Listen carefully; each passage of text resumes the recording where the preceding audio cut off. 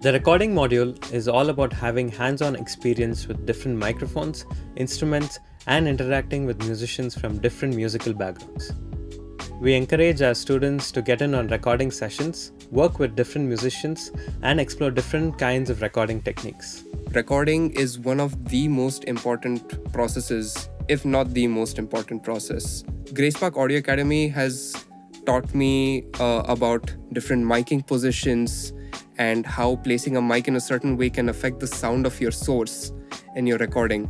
You know, they, they teach different miking techniques, you know, something like XY, AB, mid side, and stuff like that. So, we often say that audio engineering is part art and part science, and it is the most evident when it comes to recording. You can find such creative ways to record sounds like using room mics to record a guitar cabinet or using a speaker as a sub kick. So, our aim in the recording module is to give students an access to this analytical framework, to build this analytical framework, and to break down multiple recordings so that they get a hang of this. So let's say from one of my faculty, I learned uh, a lot about the pop genre and how to record different instruments that belong to that set of genre, like the way they're played and stuff. And then from another faculty, I learned how to work with the rock and the metal genres. Now, say for example, you have a song where you want to record acoustic guitars a song that has a very busy arrangement, you would need a very different approach as to what the sound of the acoustic guitar would need to be, versus a song that has very sparse arrangement. The sound of the acoustic guitar in that case would have to be very different. So, how do you go about miking the instrument in that case? We'd like to build this framework by trying it out on different recordings and helping students understand how to actually approach it. A lot of the times, at least earlier before I started with the course, um, I used to my guitars that I would record would be in a different tangent and the drums would be in a different tangent in a way that they would not sit well together. And then uh, only after doing multiple recordings at the academy did I get the understanding that you know okay if the drums are dark the guitar should also complement that in a way that it could not be too bright. It has to kind of sit well with the drums.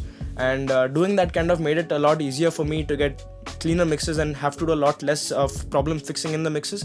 Um, now that I know that if I record an instrument I know for a fact that whoever's the mix engineer would get to do a lot more of mixing rather than uh, problem fixing in his mixes. So, one of the things that is most challenging when creating a record is to understand what the end result needs to sound like and then approach the recording with that end result in mind. So, we give students assignments at the end of every week so that they can get into the studio and apply everything that they've learned in class.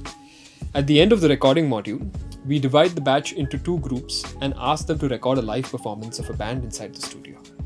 The students have to figure out everything from creating an input list to figuring out artist mixes and even troubleshooting whatever goes wrong on the day of the event. And all of this has to be done within a time limit, as it would for a commercial client. That was a lot of fun, and we did that assignment in groups. Uh, we also faced a lot of issues and problems in this assignment. So, troubleshooting was a skill we definitely developed through this uh, live band recording. During the recording module at the Gray Spark Audio Academy, I was allowed to use a wide range of equipment uh, at the studio, such as a variety of different microphones, preamps, and a lot of outboard gear as well. That gave me a lot of hands on experience while recording artists at the studio, such that it gave me time to spend recording instruments like drums, classic Indian classical instruments, acoustic guitars, piano, upright piano, and a variety of other uh, instruments and also recording in the different uh, spaces in Gray Spark Audio Academy. There's a studio A, B, C, and D, which um, you know all the rooms are different. So how recording in each room actually gives me a very different sound. Gray Spark Audio Academy has also taught me how to interact with clients and how to make them feel comfortable and how to make sure that they can give the best performance at that given place and time. Yeah so i would say the, the recording module has been really helpful for me in understanding a lot of things that i can also apply in my own personal projects and help me achieve the sound that i would want to get in my own music since the students are learning in an actual commercial environment where multiple records are made in a year they get to learn all of these skills on the job which turns them into the professionals of tomorrow